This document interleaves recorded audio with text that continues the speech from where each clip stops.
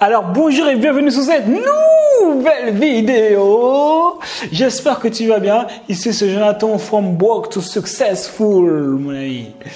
Bon écoute, on va voir, c'est directement au sujet. Mais juste avant, n'hésite pas à t'abonner. Hein, ça fait toujours plaisir. Je préfère te le demander parce que sinon je suis pas sûr que tu le fasses. Trois signes qui montrent que tu seras riche un jour. Donc le premier signe, tu es impatient.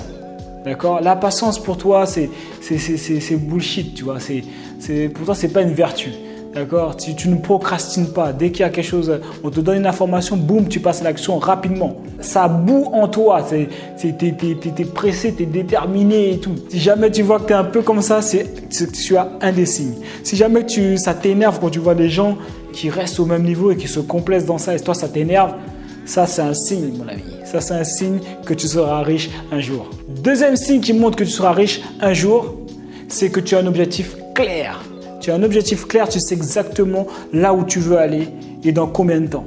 Et c'est un objectif que tu partages avec les gens qui sont autour de toi, avec euh, ton équipe si jamais tu en as une, avec tous les gens qui sont autour de toi. Tu n'as pas peur de dire aux gens tes objectifs, qu'ils soient clairs.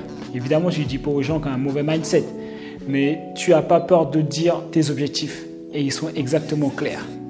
La différence, c'est que les gens qui sont pauvres n'ont pas de plan, n'ont pas d'objectif. Et donc, du coup, par défaut, quand tu n'as pas de, plan pour pouvoir devenir riche, eh ben, par défaut, tu as un plan pour devenir pauvre. Donc, toi, ce n'est pas ton cas.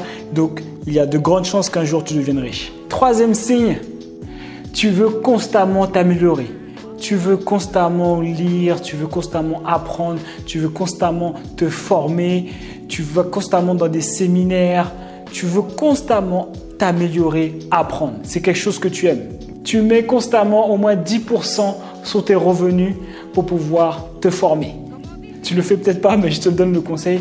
Mets toujours 10% de côté sur tes revenus pour pouvoir te former. Imagine maintenant tu fais 1 million de revenus. Ça te fait 100 000 euros d'épargne pour pouvoir investir en toi.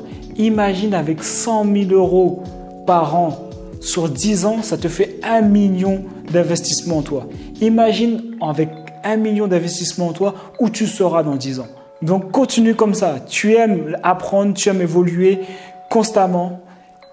C'est un troisième signe qui montre qu'il y a de grandes chances que tu sois riche un jour. Donc voilà, si jamais tu as ces trois signes réunis, ça ne veut pas dire que tu vas devenir riche, mais il y a de grandes chances que tu puisses devenir riche. Ça, c'est sûr, il y a de grandes chances. Et si jamais tu ne deviens pas riche, en tout cas, c'est sûr que tu feras la différence auprès des autres. Donc continue comme ça, reste déterminé, reste fixé sur ton objectif. Si jamais tu veux créer ton business en ligne, n'hésite pas à cliquer sous le lien juste en dessous. C'est une formation offerte où je t'explique étape à étape comment créer ton business en ligne.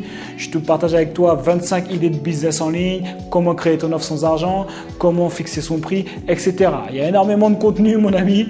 Après ça, tu pourras passer à l'action directement. Donc d'ici là, prends soin de toi. On reste déterminé.